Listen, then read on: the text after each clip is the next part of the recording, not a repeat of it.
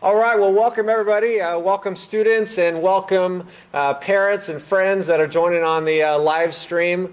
Uh, we appreciate you being here and we are excited about this. We had to cancel last year's due to the pandemic uh, and we said that we have to do a ceremony this year. So uh, we are super thrilled that you guys are here. A couple of housekeeping items first. You guys see the QR codes and the links on your tables. If you'd like to share that with any of your friends and family, okay, uh, please do send that link out. Uh, that way people can watch it on the live stream. And also, this live stream will be posted to our Facebook page and our YouTube page afterwards, just in case anybody wants to watch it after. Also, uh, the brief overview of what we're going to do tonight. So I'm going to uh, start by uh, talking on behalf of the faculty and staff. We'll have uh, President Jagger uh, tell her story and share a, a, few words of wisdom and then we'll uh, award all of you your lab coats. So let's start. We're going to start with a uh, opening prayer, but in place of an opening prayer, uh, we're going to actually read a uh, parable from the Gospel of Matthew, and it's the story of three servants. So the kingdom is also like what happened when a man went away and put his three servants in charge of all he owned. The man knew what each servant could do so he handed 5,000 coins to the first servant, 2,000 to the second, and 1,000 to the third. And then he left the country. As soon as the man had gone, the servant with 5,000 coins used them to earn 5,000 more. The servant who had 2,000 coins did the same with his money and earned 2,000 more. But the servant with 1,000 coins dug a hole and hid his master's money in the ground. Sometime later, the master of those servants returned he called them in and asked what they had done with his money. The servant who had been given 5,000 coins brought them in with 5,000 that he had earned. He said, Sir, you gave me 5,000 coins, and I have earned 5,000 more. Wonderful, his master replied. You are a good and faithful servant. I left you in charge of only a little, but now I will put you in charge of much more. Come and share in my happiness. Next, the servant who had been given 2,000 coins came in and said, Sir, you gave me 2,000 coins, and I have earned 2,000 more. Wonderful, his master replied. You are a good and faithful servant. I left you in charge of only a little, but now I will put you in charge of much more. Come and share in my happiness. The servant who had been given 1,000 coins then came in and said, Sir, I know that you are hard to get along with you harvest what you don't plant and gather crops where you haven't scattered seed. I was frightened and went out and hid your money in the ground. Here is every single coin returned. The master of the servant told him, You are lazy and good for nothing. You know that, har- that I harvest what I don't plant and gather crops where I haven't scattered seed. You could have at least put my money in the bank so that I could have earned interest on it. Now, you might think that's kind of a weird way to start a lab coat ceremony. Okay? Uh, this is not a theology talk that you came to. Uh, we have uh, come here to succeed, or come here to be excited, right, for all of your accomplishments. Okay? But on behalf of the faculty and staff, we just want to say a couple uh, words uh, to all of you that have worked so hard to get here. So, why would I start with that particular parable?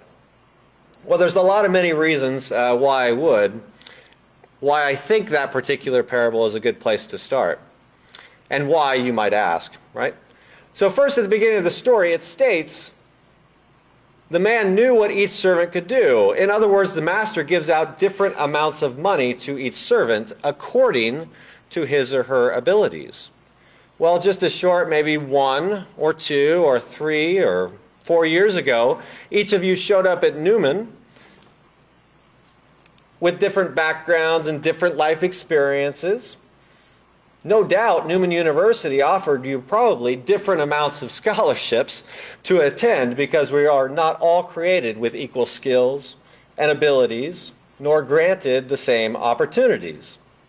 Regardless, each of you chose to attend Newman.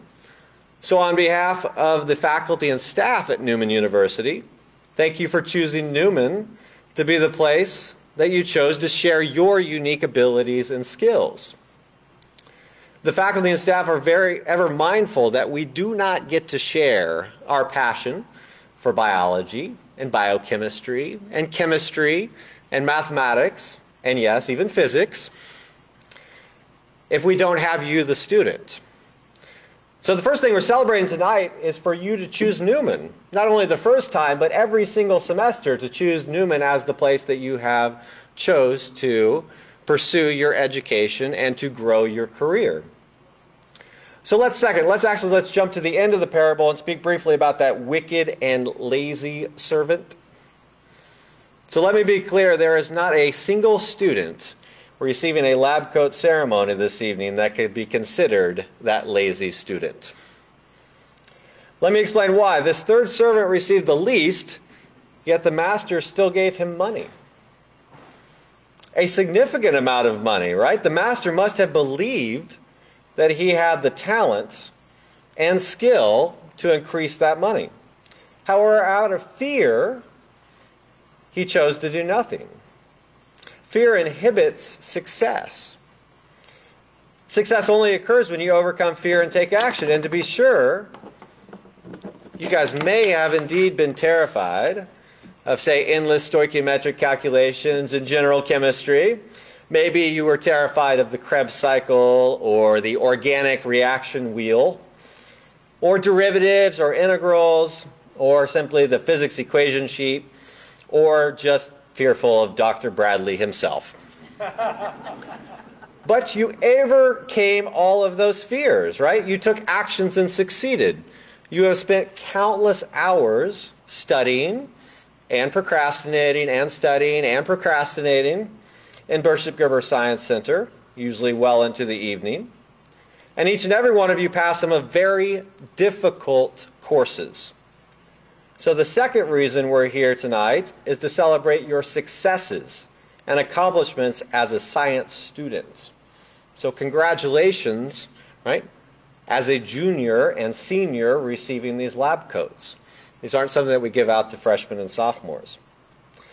Third, if you are not the lazy and the wicked servant, then which servant are you? Are you the first servant who received 5,000 or the second servant who received 2,000? See, when I look around the room, I know most of you personally.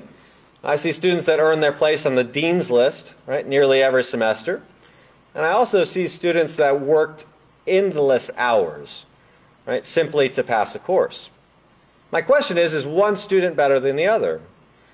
I see students that served in leadership roles, president, vice president, secretary positions for NUMSI, for chemistry club, for STEM club, gardening club, right? All of these other clubs that we have on campus. And I see other students that would normally show up for, I don't know, maybe the food and good fellowship at those club activities. My question again, right, is one student better than the other? I also see students that served as teaching assistants and students that were taught by teaching assistants. I see students that worked as peer tutors and students that met with peer tutors. So when I read this parable, I wonder which servant was most successful. And as you may be wondering, right, which students here are most successful? But then a good thing happens. My analytical skills kick in, right, and I start to uh, calculate uh, the return of investment for each one of these servants. And each one of these servants had a 100% return on investment. The 5,000, the servant that received 5,000 gained 5,000. The servant that received 2,000 turned it into 4,000.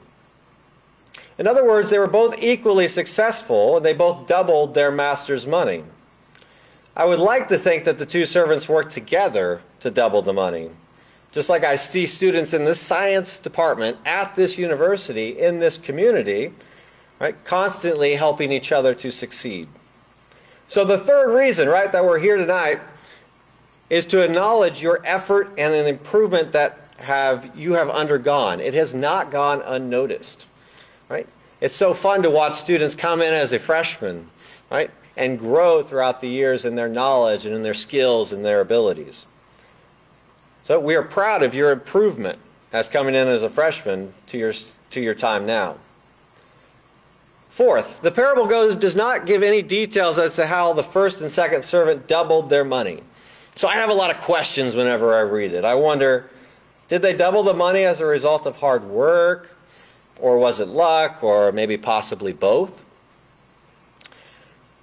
I don't know about you, but maybe uh, you studied really hard, but every once in a while got lucky on a multiple choice exam. Maybe. Did every investment that they made give positive returns, or did some investments maybe lose money? Did they double it quickly, or did it take years and years to get that investment to pay off? I also wonder did the first and second servants work alone or did they work together to double their money? And I would assume that if they lived a particular normal life, I imagine that they experienced challenges, obstacles, setbacks, and of course, successes. In other words, their path to success probably was not always smooth and easy. I imagine they needed each other to succeed. So the fourth reason, right, why we are here tonight is to celebrate your grit in overcoming adversity, for getting yourself up when there were challenges that you had to overcome. After all, you guys are sitting here with masks on, social distance, in the midst of a pandemic. That's a pretty big accomplishment to overcome in your junior and senior year. And you overcame it together. Lastly, I'm almost finished. I wonder how long it did take for that particular master to return. How much time was given to the servants to double their money? Maybe it took many, many, many years. Maybe more than four or five years. That is longer than it takes to earn a particular science degree. The last reason we're here tonight awarding you lab coats is to motivate you and younger students who now look up to you to keep working and to keep improving.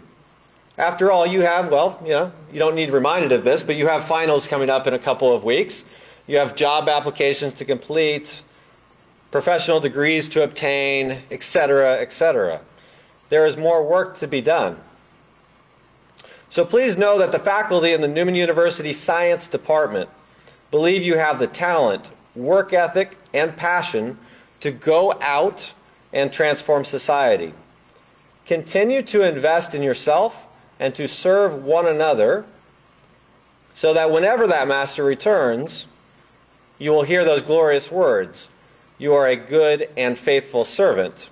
Come and share in my happiness. At this time, um, I'd like to uh, turn it over to uh, Dr. Bradley if he'd like to say anything on behalf of the faculty and staff. No. No? Okay. All right. We will move on then. And we'll go with uh, President Jagger. President Jagger is new this year. This is her first year. So hopefully most of you have gotten uh, to know her or seen her around campus. I just have a short introduction so you can get to know a little bit more about her. President Jagger is the second laywoman to serve as Newman University president. She has extensive higher education and leadership experience, including acting as president, vice president, and dean at Thomas More University in Crest uh, View Hills, Kentucky. She also taught at DePauw University in Indiana and Transylvania University in Kentucky. Jagger earned her PhD in, get this, microbiology from the University of Cincinnati College of Medicine. She also holds a master's degree in public health from the Harvard, Harvard School of Public Health and a BA in zoology from DePauw University. In addition to being an active member, active volunteer, and advocate for Habitat for Humanity, Jagger has also served on the board or volunteered for more than 20 community organizations. She is married to Dr. Dim, Dr. Jim Jagger, who formerly served as Director of Athletic Medicine and Team Doctor for the University of Kentucky Athletics. They have two grown sons, Matthew and Mark. So, President Jagger.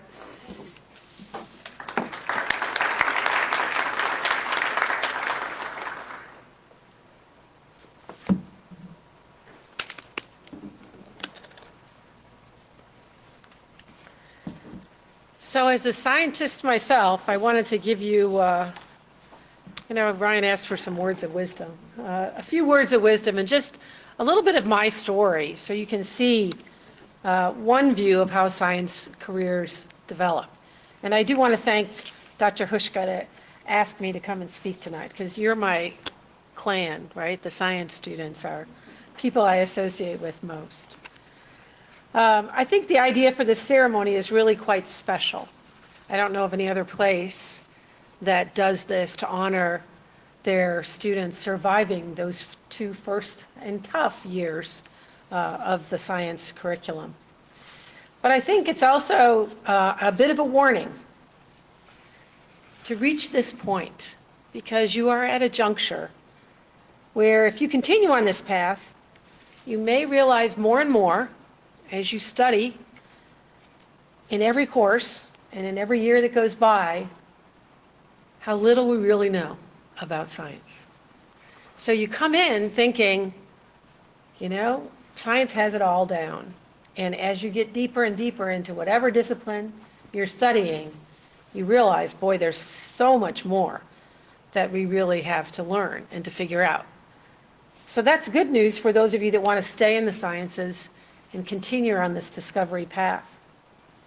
I do remember one year when I was teaching immunology that a student asked a question about something that immunologists had not yet sorted out. I don't even remember, um, you know, what the question was, something about histocompatibility. But anyway, um, when she asked this question, I thought it was very, very clever.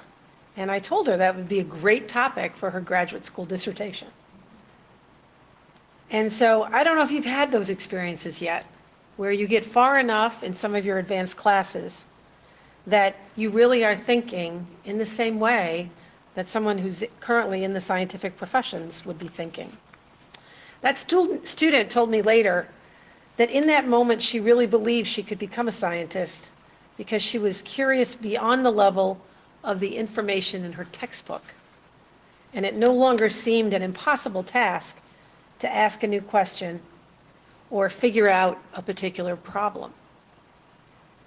You have the potential in college, in a setting like Newman, to really feel the thrill of discovery if you're doing research with one of your faculty members or doing some open-ended research even in some of your classes. And even if not practically experiencing that, you may theoretically in thinking about the problems that scientists consider. So how did I get interested in science? Do you all remember how old you were when you first thought you would, you would, you would become a scientist? You felt like a scientist? How old were you?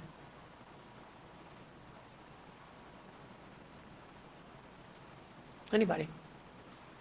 You're, nobody's thought about being a scientist yet? Seven? Yeah. Yeah. Saying this is cool, right? Yeah, anybody else?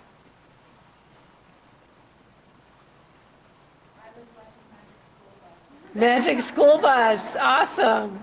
Yeah. And, and sometimes there's other clues just by your behaviors, right? Like uh, the one I see in my grandkids. Do they pick up the rock on the sidewalk and look and see what's on the underside of it? Or do they just kick it out of the way? Right? One is the jock who wants to kick it out of the way, and the other one, my two grandkids, wants to pick it up and see if there's any, any of those squirrely wiggly things on the bottom of the rock. So you can tell at an early age sometimes. But my first declared interest in science when I was about 10. I was put in the hospital uh, to try to figure out what was wrong with me. I was having really severe abdominal uh, pains, and they couldn't figure out what it was. And I was in the hospital for mm, four or five days. And I was really more interested in asking questions when the doctors came in. And I'm sure they were annoyed by the questions this 10 year old was asking. Uh, and I, I, kept saying things like, well, what are you putting these plastic, um, what are you putting these leads on my head for? Why are you gluing them on? What is that going to tell you? Right? What is that information all about?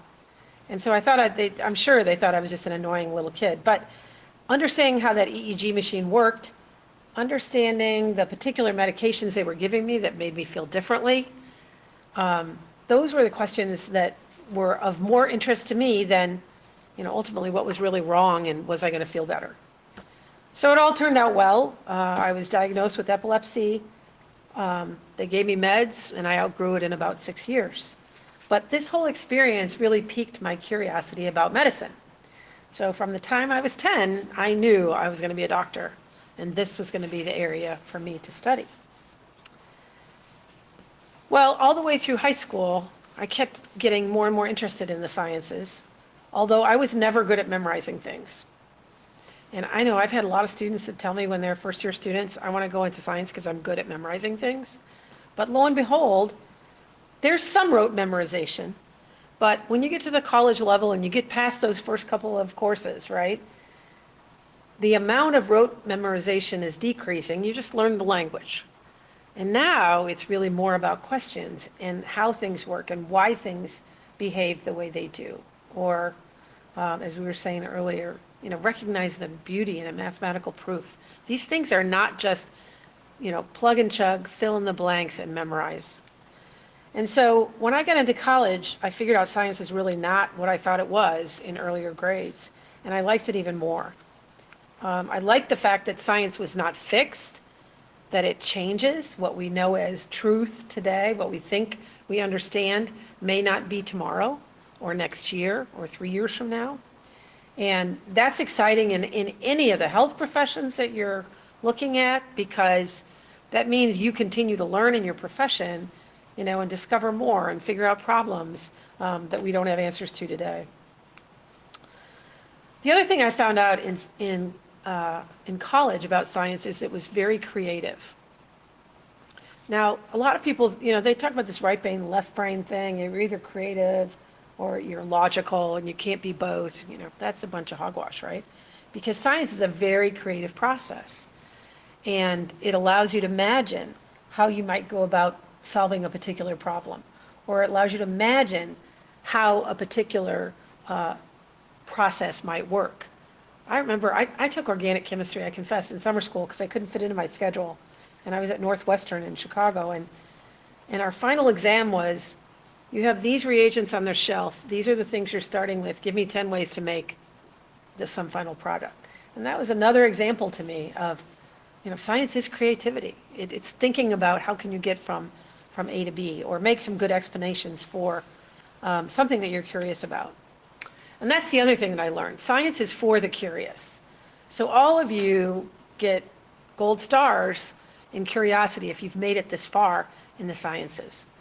And for those of you who like to ask the how questions and the why questions, um, you know, this is, this is what you want to continue to nurture if you go on and use your science, whether or not it's for your vocation or an avocation.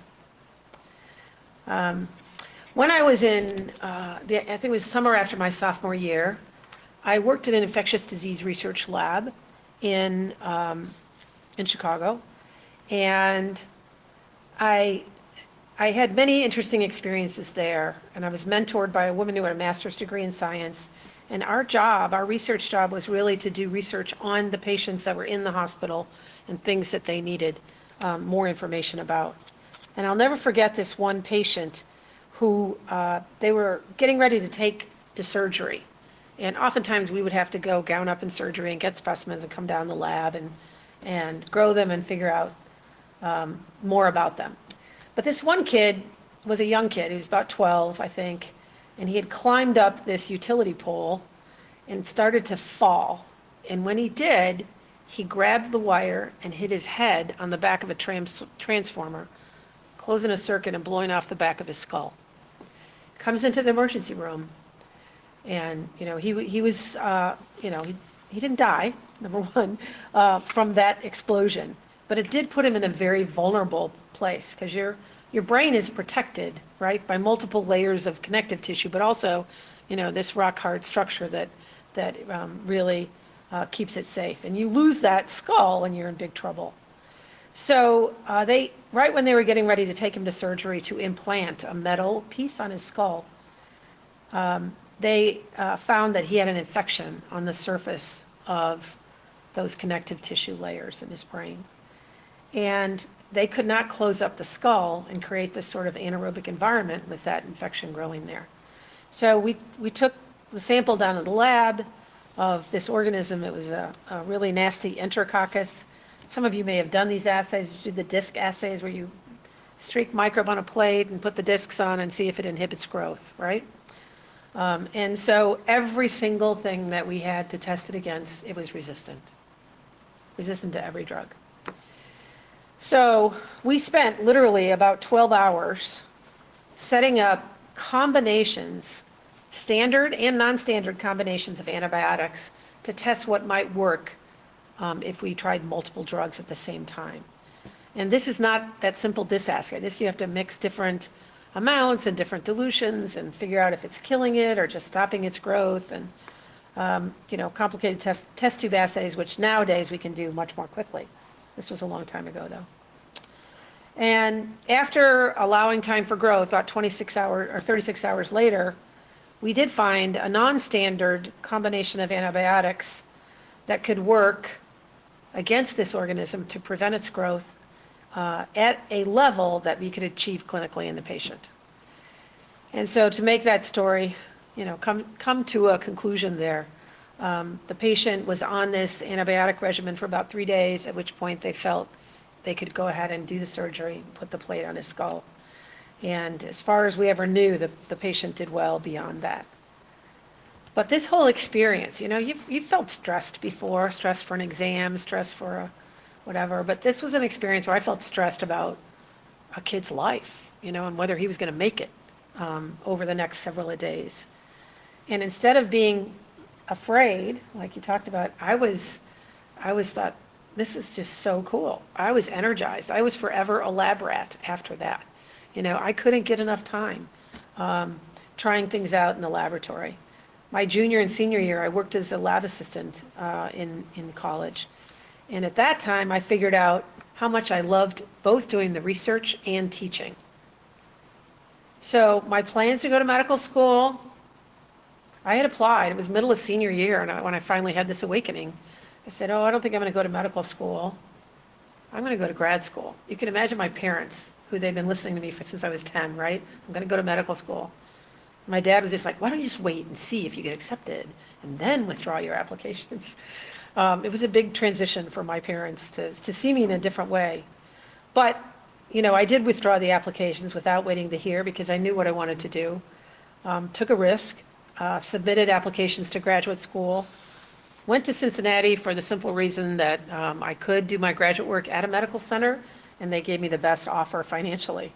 Um, and uh, never really felt sorry about making that change. Uh, something I thought for a very long time was going to be my career, just overnight. So uh, when I was in graduate school, I did more microbiology research. I did research on, on how microorganisms were able to cause disease, studying particular one that was a very common infection in, in burn wound patients, but is also is found in nature everywhere. And so why in these, these patients was it suddenly killing people when in nature it wasn't? Um, so again, uh, that was a very, very interesting process and something that, um, you know, I was able to finish in about three and a half years. My first job was teaching in a medical school. How about that for you? Right? You think you're going to be the medical student, and then I end up teaching medical students. So that was kind of, you know, a different twist on my plan. But the rest since then has been a roller coaster ride. And so some of the morals of this story, I guess, or some of the tips that I take home from that is be really flexible and be self aware and thinking about how science can play a role in your future. It's, it's certainly possible you might combine science with some other area.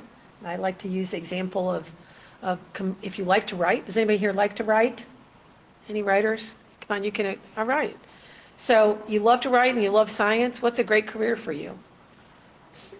Science writing, right? I mean, we need people who can communicate science to the general public. We need them badly because sometimes scientists aren't the best at communicating to the general public. They're not as good as they are communicating with each other. So think about what are the things you love and how do those combine, you know, into future possibilities for yourself. Second thing I would say is, you know, some of you are seniors. How many are seniors that are almost done? Well, you've already got your next step probably planned, right?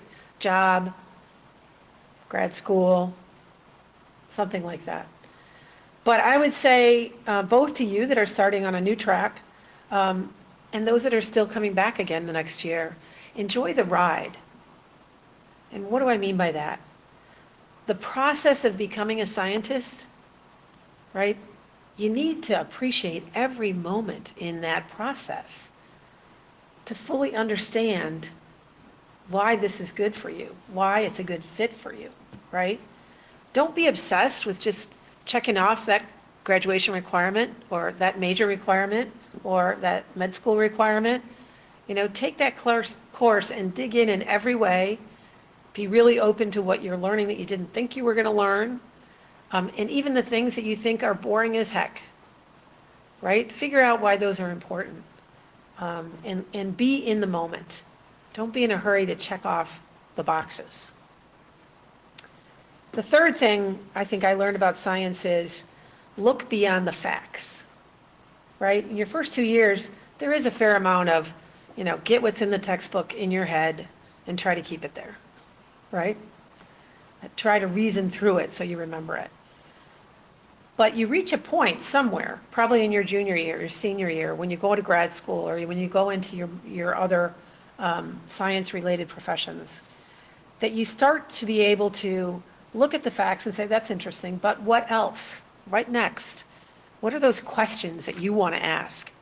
When you get to that point, then you really have reached the point of being an acting, functioning, real scientist, right? So if you're the one that's always asking questions, you're well on your way, but keep asking those questions because it's the curiosity of scientists that moves science forward. And, of course, the ability to convince your peers that what you figured out is really the truth. One of the things I think is undeniable when you're, when you're studying something and you realize for the very first time that you know something that nobody else in the world knows yet. You've just figured something out that's not in a textbook. It's not in a scientific journal anywhere. And you're going to publish it. You're going to give presentations at meetings and tell people about what you figured out. And that is a total joyride, right? Figuring out something first on your own because of your own curiosity. So keep that. And, and I do think that one of the ways you can figure out the, the myriad ways that you can enter into scientific professions is by taking the time, and I think this is a really good summer option. You don't have time during the school year, right? You barely get your reading for classes done. But in the summer, if you're not taking classes, I strongly recommend that you read a biography or two uh, about scientists, or read some of the original seminal works in the area that you're studying.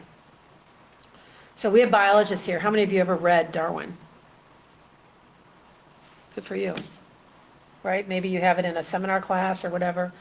Um, you know, origin of the species is not really about origin of the species, right? That comes later. So, you know, what we know um, indirectly is, is nothing like what you can read directly. And so I want to give you a couple of suggestions. Um, read Darwin, read Newton, right? Consider people like Lavoisier or Madame Curie or Einstein or one of my favorites in biology, Barbara McClintock. We think about science as being a completely social endeavor because you figure things out, but then you have to talk to other people about them, right? Or sometimes you figure it out in a group. And her work was done almost entirely by herself. And she had a heck of a time convincing other people that what she found out, genes jumping around in chromosomes, was really true. Um, so her life story, there's a great biography of her that you could read, and it's inspiring. One of my favorite um, scientists is E.O. Wilson. He's a sociobiologist from Harvard. And, um, and then there's Sean Carroll, used to be head of the Har- uh, Howard Hughes Medical Institute in Washington. And then one of my other favorite authors is a former student of mine, and his name is, is Jay Nichols. And he wrote a book titled um, Blue Mind. And it's all about the surprising science that shows how being near, in, on, or underwater can make you happier, healthier, uh, more connected, and better at what you do in life. He literally uh, is one of the guys that saves the turtles. I mean, he's working on the West Coast, but he's also a very curious individual, and he is interested in this connection between, you know, the psychological reactions people have, the neurophysiological reactions people have when they're in and around water. And he did research way beyond his field, put it all together in this book called Blue Mind. So If you like water, if you like being in, on, or under it, that's a book you really should read. And it's a little bit of a biography for him. Sean Carroll has a book, if you haven't heard of it, called um, Endless Forms Most Beautiful. And it's about evolution and, and development and how those two are connected. It's a beautiful story. Um, he also wrote a book, Carroll also wrote um, Making the Fittest, I think, or Make, Making of the Fittest, something like that, that really has to do with a more current interpretation of, you know, how do we use DNA to solve crimes and, and so on and so forth. Um, and then a last one I would recommend, there's a woman by the name of Lynn Margulis who um, wrote a book called The Symbiotic Planet. And although Darwin's theory of evolution laid a lot of the foundations for modern biology, um, Margulis has really uh, worked hard on the origin of life itself uh, from a biological perspective.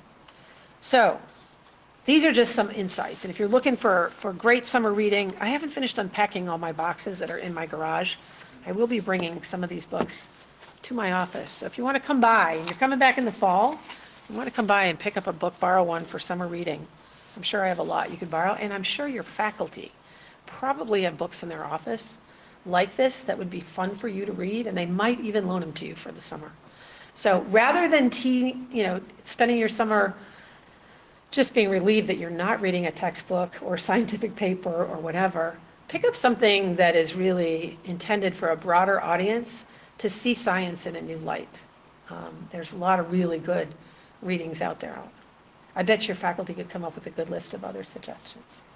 So anyway, that's my story.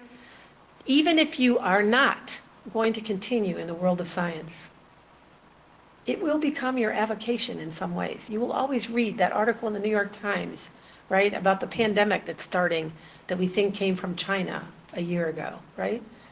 You will always be on the alert for those scientific articles. So it doesn't really matter if you become a physician, a physical therapist, a genetic counselor, uh, a researcher at Pfizer that's developing new vaccines, or a banker, or an architect, or whatever it is that you end up with in your professions. Keep the curiosity that you've learned or that, that's maybe innate with you, keep that curiosity about science alive. There's so much more we have to learn on this planet and beyond. And it's just, it's fun. So keep it going. Thank you very much.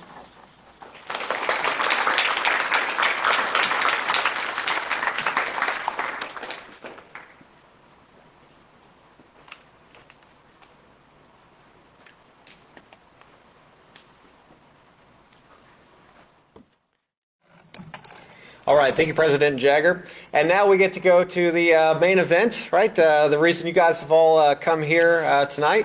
So here's how this is going to work. Uh, we're going to call your name. Okay, you're going to walk up from wherever you're at, left side of the room, right side of the room. Okay, if you walk up right here, okay, we're going to have a faculty member that is going to put that uh, coat on you. Okay, you get to walk down this center aisle, if you would, after you receive your lab coat, right? Smiling underneath your mask, of course. And go over there, okay, to the uh, photo station in the back. You can then remove your mask, okay, and take a uh, picture with your lab coat on, right?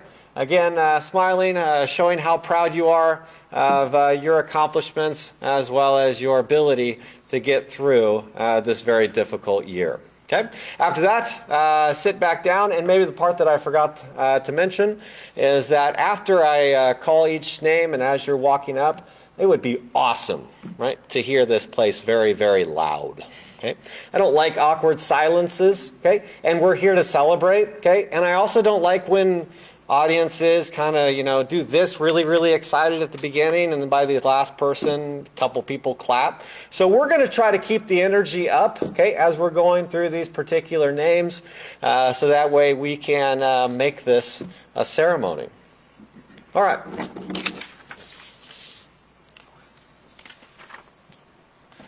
Find my list.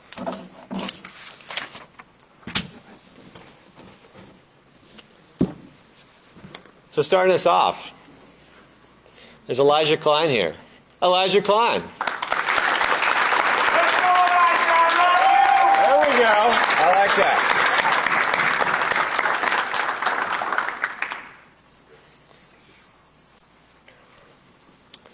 Min Win. Min.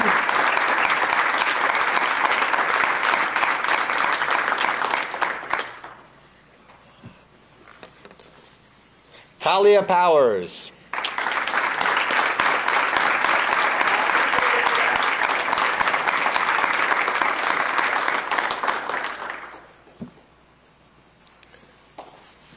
Next up, Gabrielle Altanor.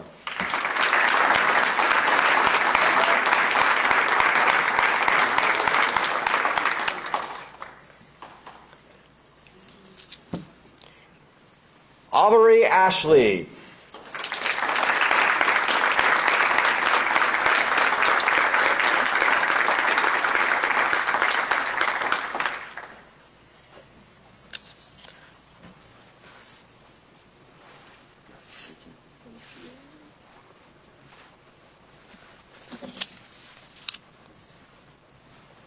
Lily Balderas.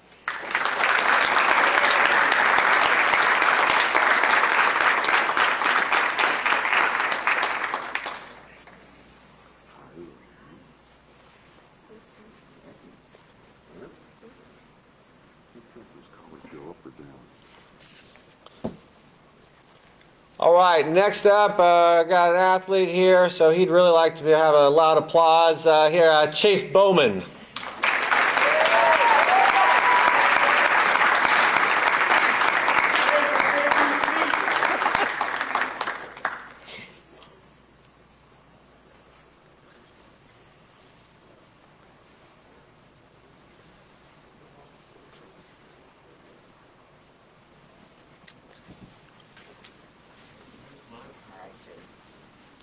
Next up, Madison Buchel.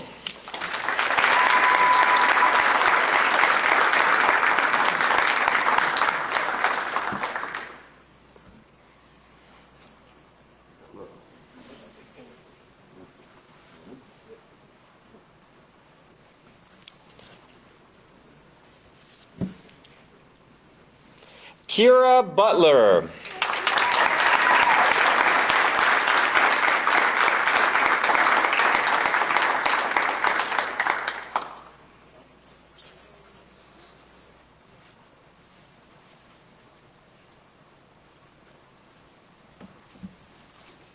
Riley Kane.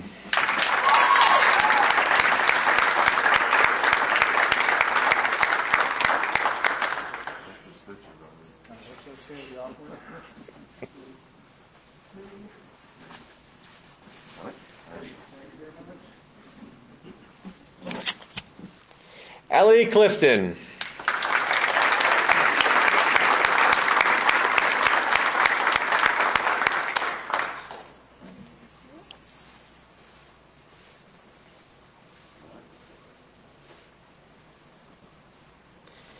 Madeline Conrad.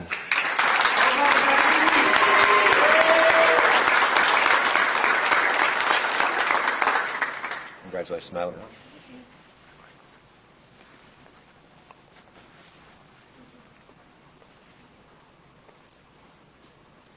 Morgan Cooper.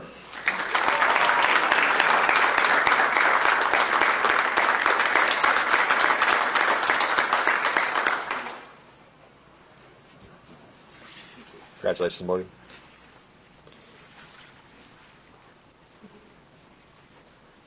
John Kufal.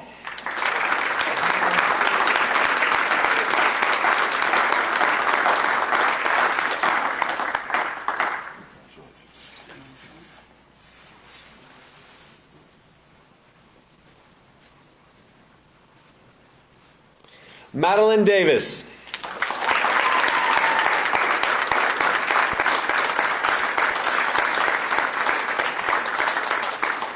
Patty.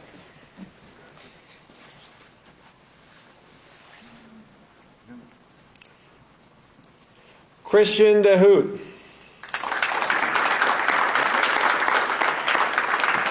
I didn't see Alex. All right. Logan Dickey.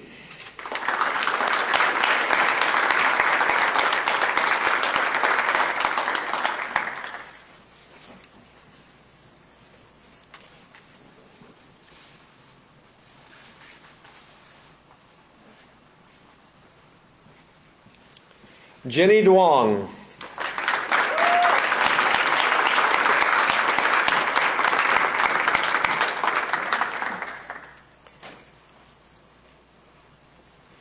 Michaela Imke.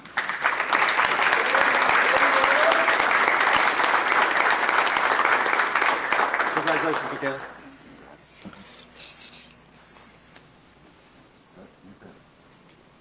Lauren Esfeld.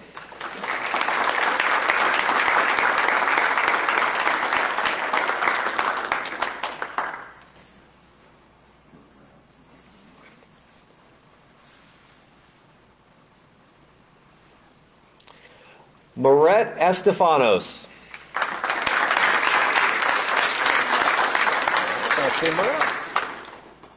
Mac Foley.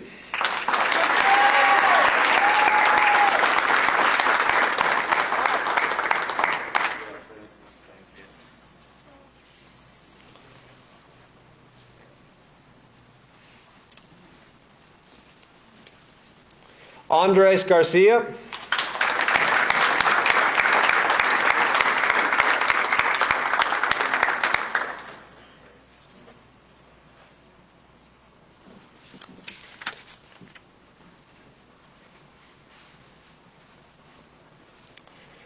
Tati Tierra Gary.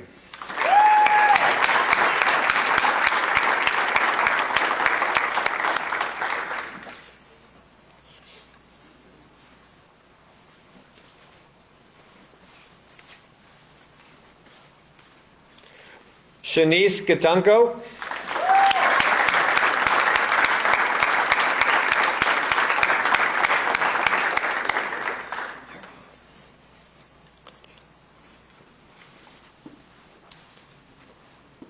Uh, Johnny Greenway.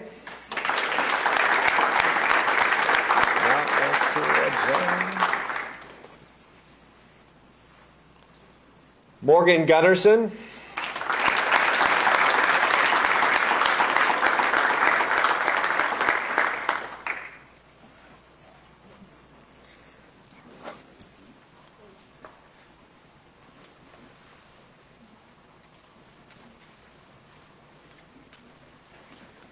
All right, so we're halfway, almost, well, we're a little halfway through, so let's keep the uh, applause coming. Dawson Gunter.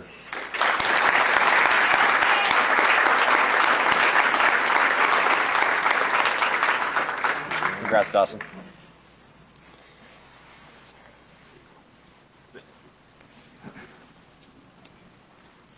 Sarah Gutnick.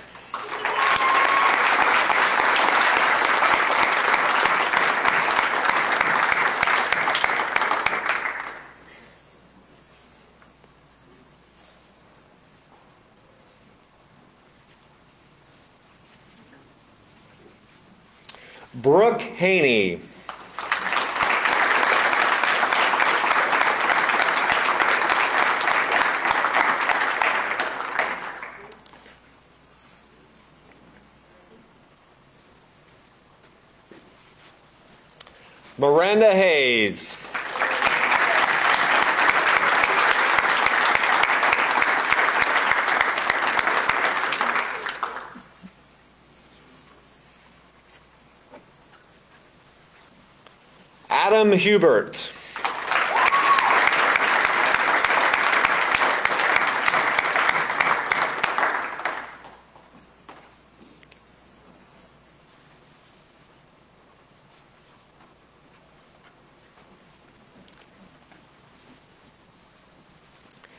Karis Hughes.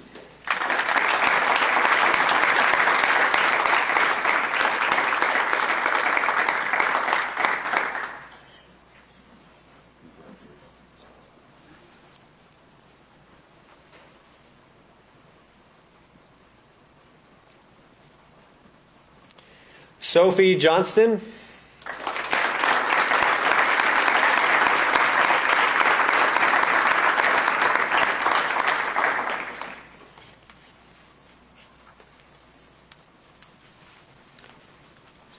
Jada Key.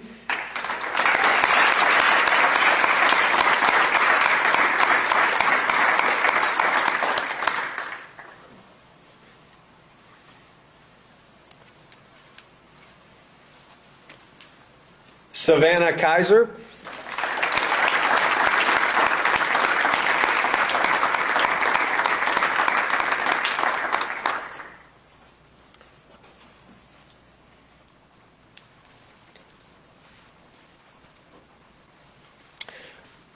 Daniel Nola.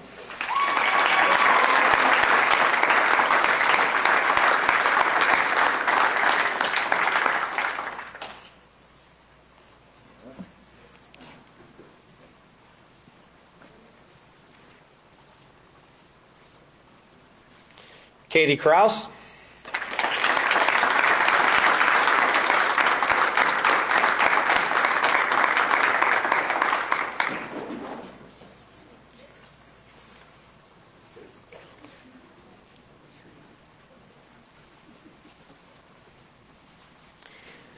Trang Lam.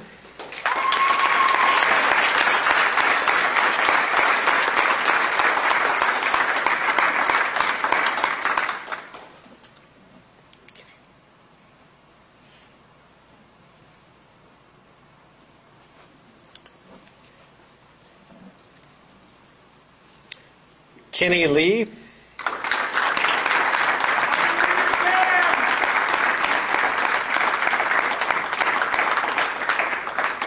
Congrats, Kenny.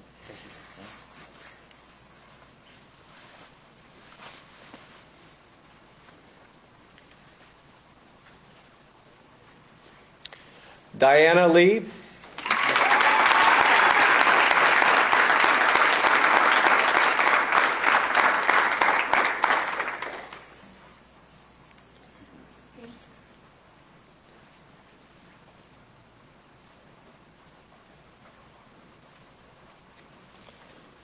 Claire Leba.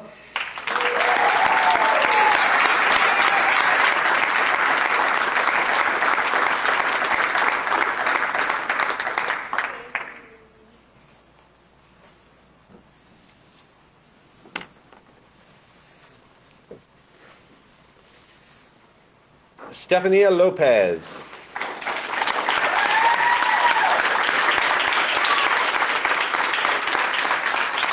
Congratulations.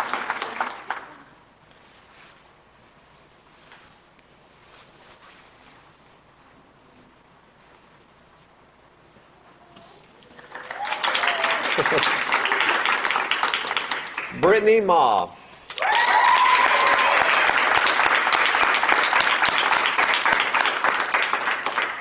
Congrats.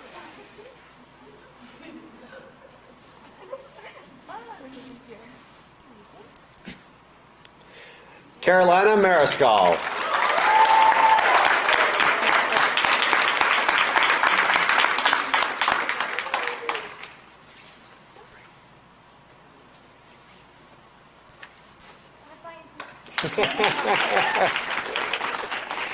Marie Moore.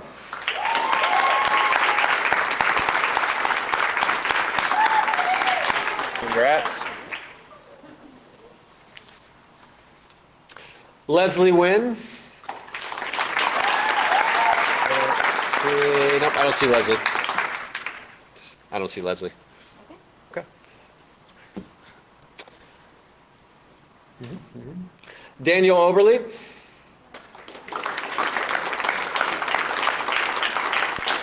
All right, I don't see Daniel either. Michaela Ortiz.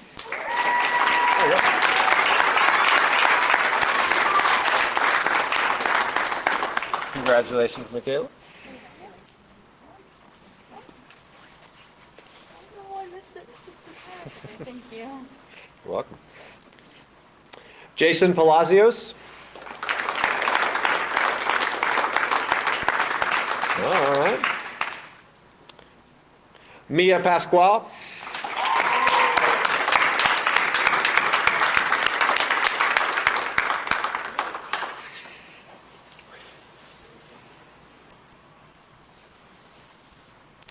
Craig Pfannenstiel.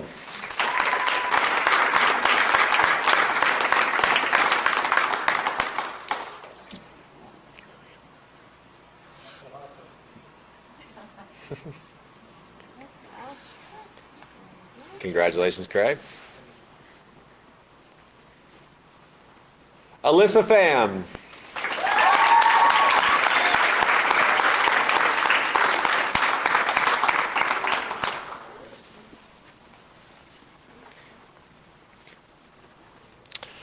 Kathy Pham.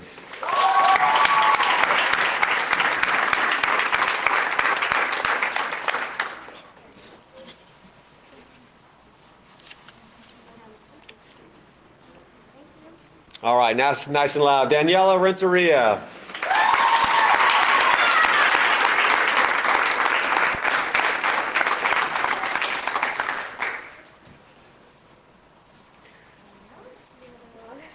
Congrats.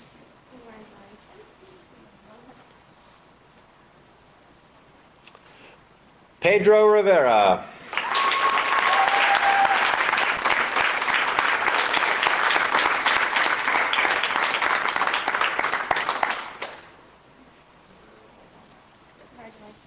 Congratulations.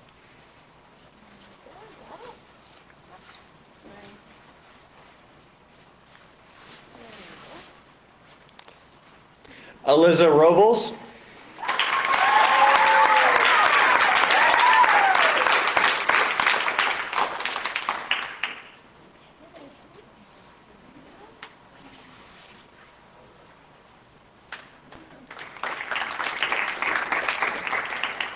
Nicole Romero.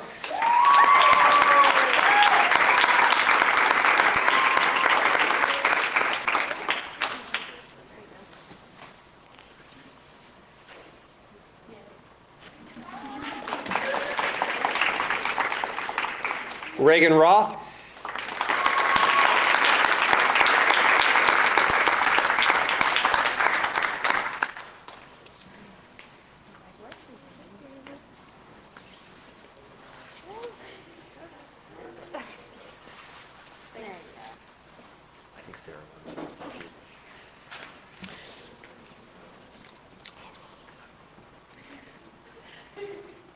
Maddie Schindler.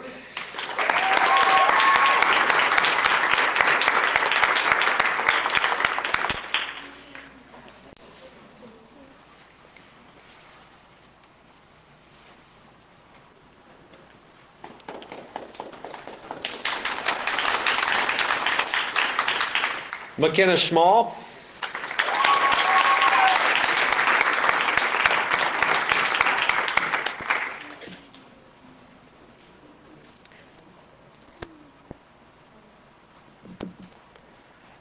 Ethan Schmidt.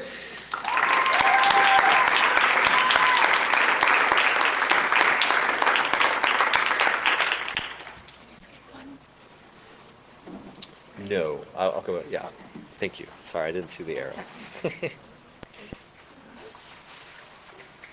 Congrats, Ethan. Ashley Schmidt.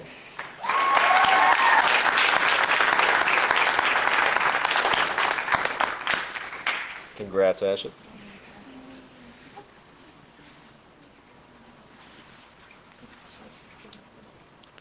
McKenna Schroeder.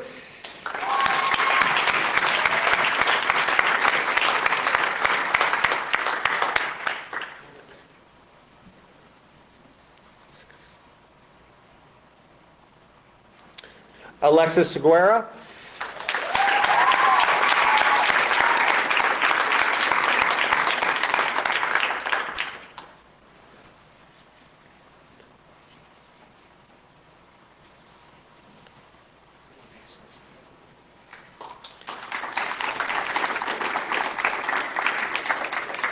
Madison Shea.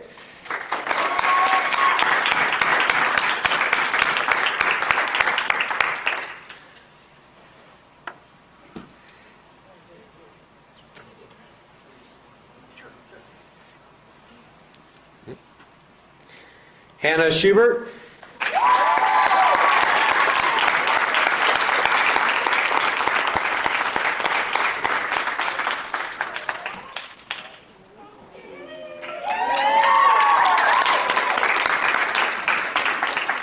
Sheridan Summer.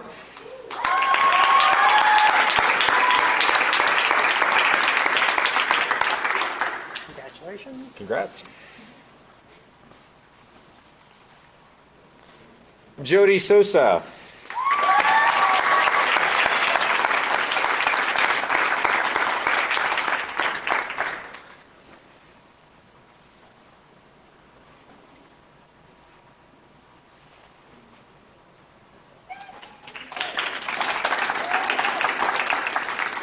Emma Springer.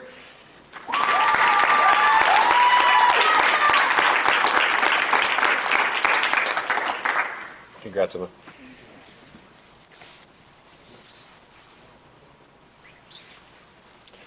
Kelby Stoniker.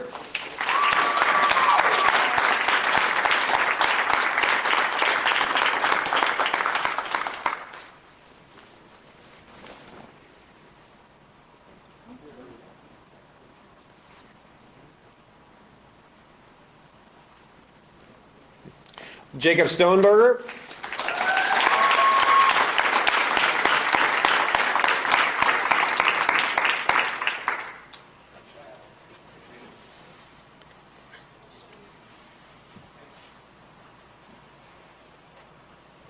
Morgan Stwally.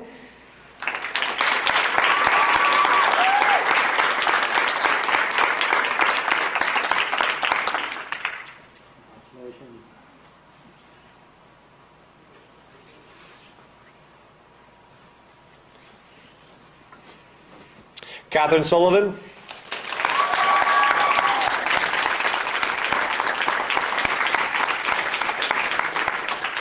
Congrats, Catherine.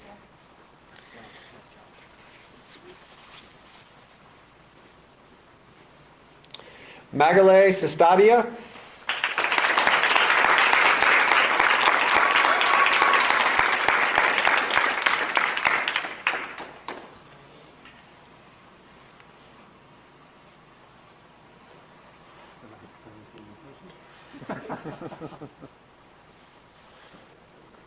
Congratulations.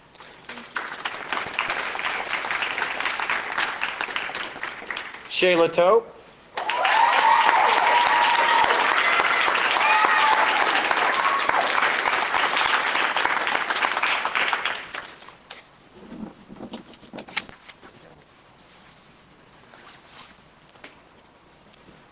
Nick Vasilescu. Nick, didn't see him. Anna Veltine.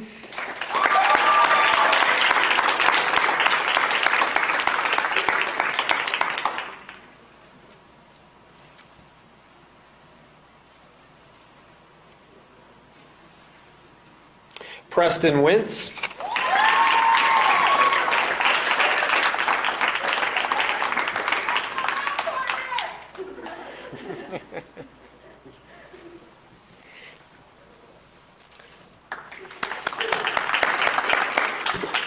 Hannah Wheeler.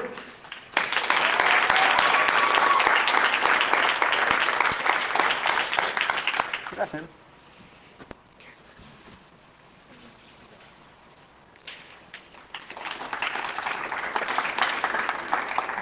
Caroline Williams.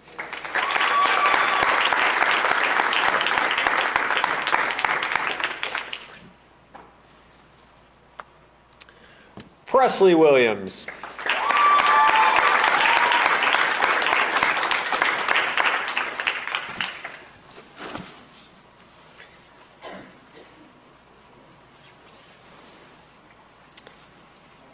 Lastly, but certainly not least, Kenneth Wright.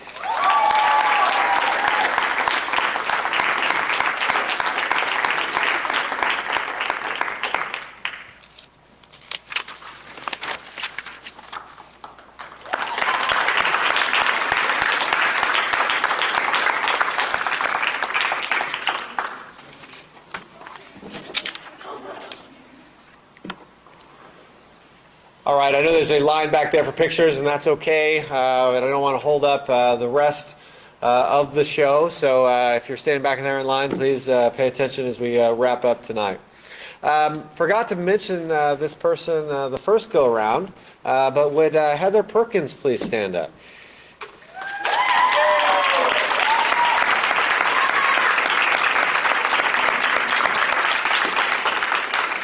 Those of you that don't know Heather, please stop in, obviously, and see uh, Heather uh, this year. She's uh, uh, new to us since, uh, well, last year. Uh, so a lot of you might not have been in person and, and stopped by her office, but she is responsible for the vast majority of work that went into this particular program tonight. So again, thank you, Heather.